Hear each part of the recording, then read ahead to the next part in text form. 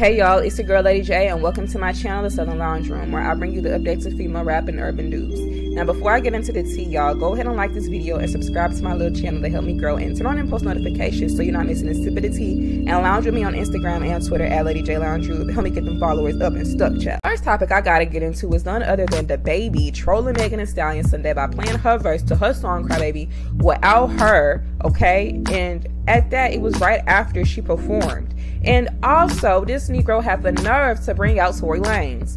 Now, you can say what you want, but this was intentional. DaBaby know what to do to get people talking, to boost them streams, and to, you know, take the heat off of his alleged baby and alleged baby mama number three he got on the way child, allegedly. So, anyways, if you don't know, DaBaby did bring out Tory Lanez during his Rolling Loud performance on Sunday, right after Megan Thee Stallion said. Now, a little bit of backstory. Last month, DaBaby and Megan did have a public falling out on Twitter when DaBaby allegedly retweeted a shady tweet on Twitter that said this. I guess DaBaby and Tory Lanez cool now because they both shot somebody and don't have to do no jail time. Now, when DaBaby was called out, he said that he didn't mean to do it and it was unintentional. He claimed Twitter did it and it was not his beef and that it was all cap. Now, Megan responded by saying this Support me in private and publicly do something different. These industry men are very strange. This situation ain't no damn beef, and I really wish people would stop playing it down like it's some internet ish for likes and retweets. Then she went on to say, Justice is slow, as we have all to see. Back to my good day.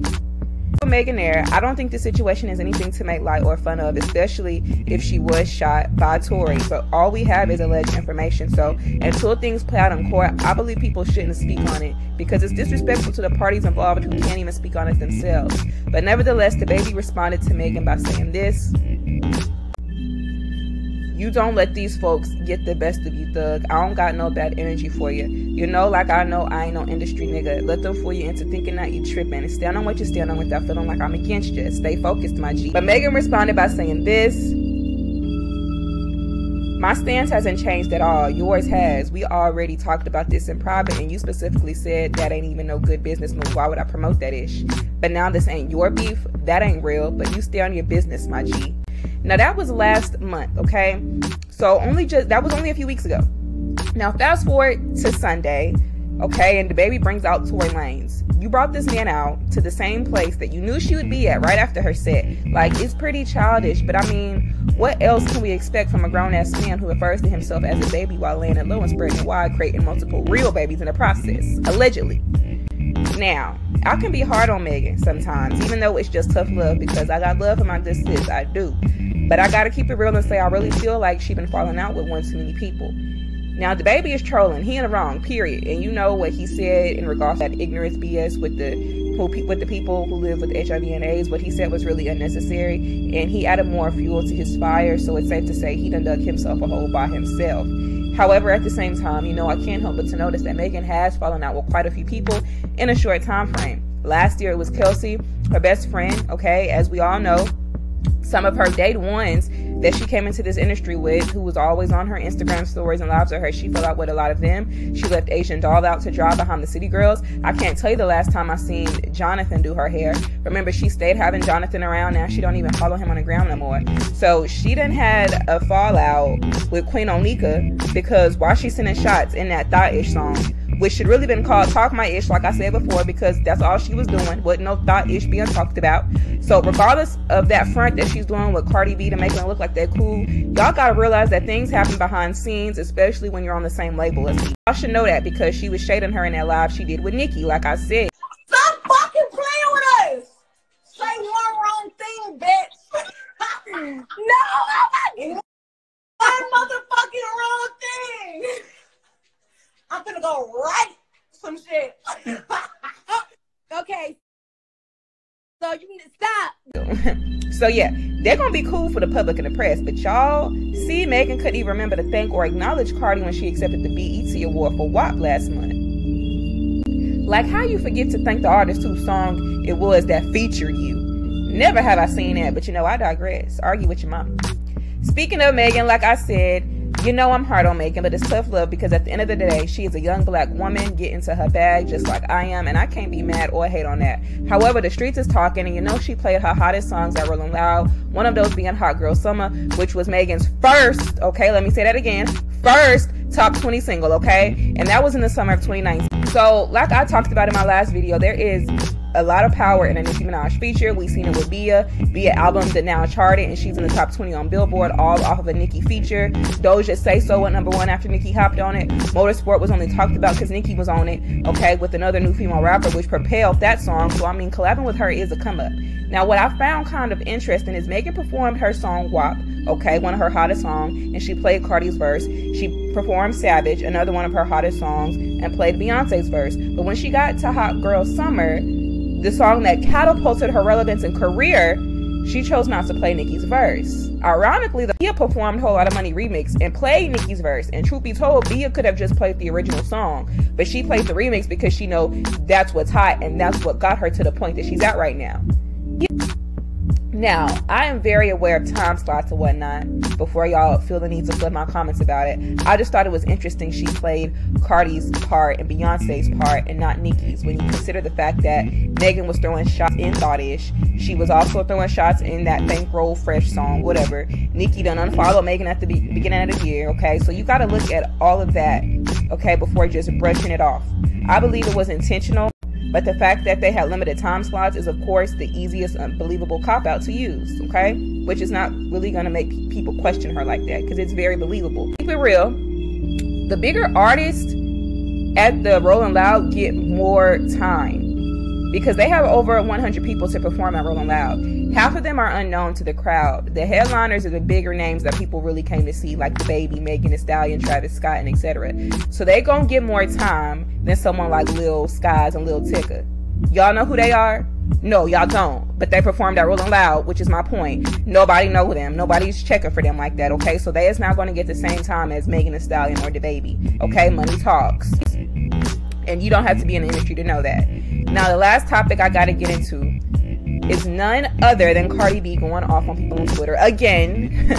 So Cardi been making headlines with these blogs the past few weeks, and honestly, I believe sis should just hop off the internet till that baby get here, because she's stressing herself out and always feeling the need to respond. Not everything warrants your response, since that takes time and energy. But continuing with the mess, Cardi B, you know, retweeted a tweet that was basically saying she didn't need to be on the wild side song with Normani, okay? With the Twitter user saying this. This might be a hot take, honestly. Cardi should have been on the remix. IDK, why y'all didn't release this song as her solo single.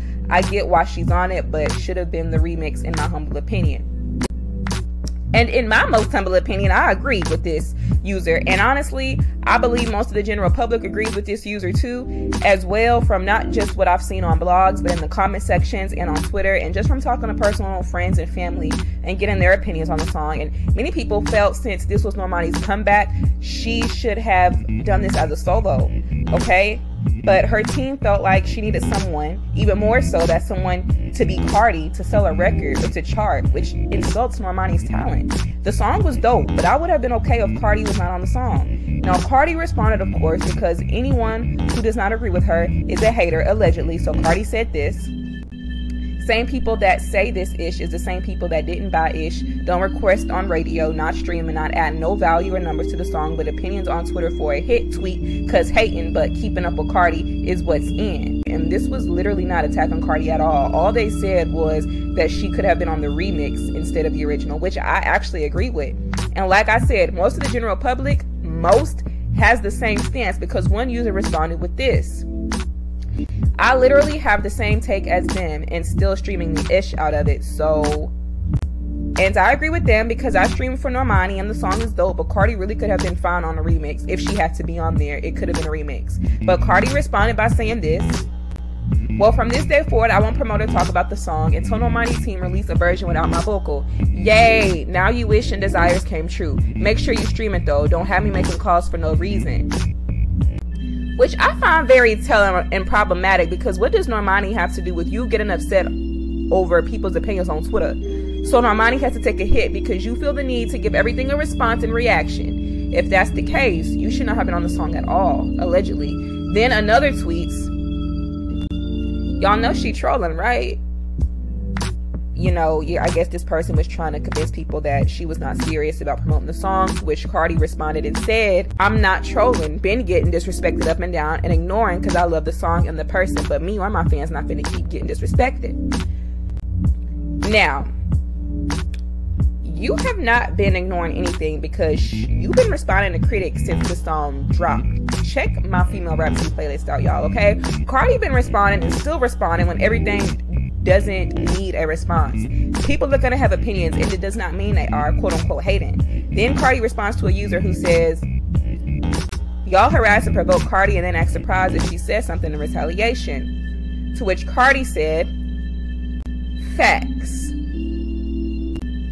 which I don't agree with. These celebs get harassed and provoked daily. She ain't the first or the last. You have to develop thick skin when you're in this industry and realize not everything warrants a response, especially when it's someone's literal opinion. It's not slander, it's not lies, it's not life threatening. It's literally opinion about the music. But you know who is slandered and harassed and lied on? Cupcakke. And she called out your fans about it last week, to which you said nothing about. But Bardi Gang be her mentions going ham every other week, and Cupcakke called you out on it allegedly and Megan. So how about addressing that instead of someone else's opinions about your music?